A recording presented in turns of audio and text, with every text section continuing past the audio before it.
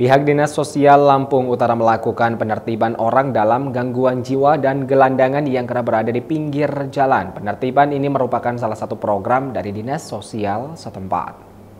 Bekerja sama dengan Lembaga Kesejahteraan Sosial atau LKS penyandang disabilitas sahabat jiwa, Dinas Sosial Lampura melakukan penertiban di wilayah Kota Bumi, Lampung Utara. Penertiban dilakukan di tiga titik lokasi. Penertiban tidak berjalan mulus saja. Ada penolakan dari para gelandang bahkan ODGJ yang ditertibkan sempat meronta-ronta agar tidak dibawa oleh petugas. Namun setelah dibujuk oleh petugas ODGJ yang diamankan mau untuk ikut masuk ke dalam mobil ambulans yang sudah disediakan.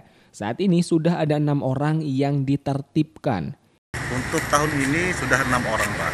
Dengan kuota kita uh, dianggarkan untuk 15 orang tahun ini.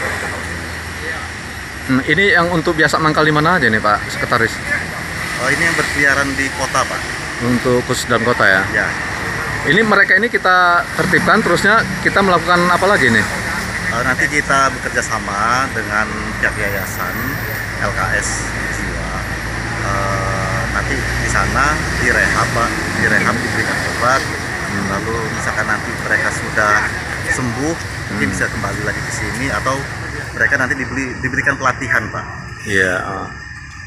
Tujuan untuk sendiri kita untuk ini penertiban ini tujuannya? memang ini merupakan program dinas sosial oh. yang merupakan terkait dengan kesejahteraan sosial masyarakat. Nantinya sejumlah orang dalam gangguan jiwa dan gelandangan ini akan menerima rehabilitasi dan diajarkan keterampilan. Dari Kabupaten Lampung Utara, Hari Supriyono, Metro TV Lampung.